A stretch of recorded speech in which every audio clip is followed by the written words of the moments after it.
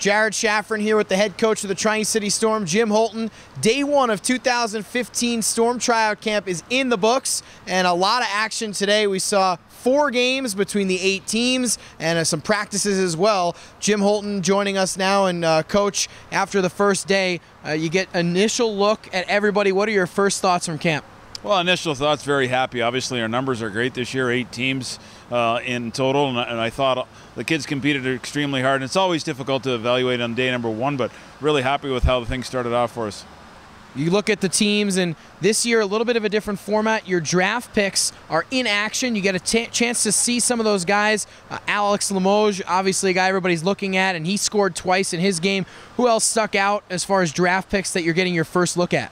Well, I think the nice part for me is I thought all of our draft picks kind of stood above the crowd, which uh, is very, very good for the future of the club. And I think Limoges, as he talked about with the two goals, was very impressive. Uh, but I thought all of them, from top to bottom, had, had really good days, which is nice. And it's not always the case when you come into a camp, but I, I thought each of them in their own right stood above the crowd at their positions anybody surprise you that you weren't looking for that jumped off the sheet as somebody that uh, wasn't a draft pick or, or maybe a draft pick that you weren't sure was ready for this level that looked really good?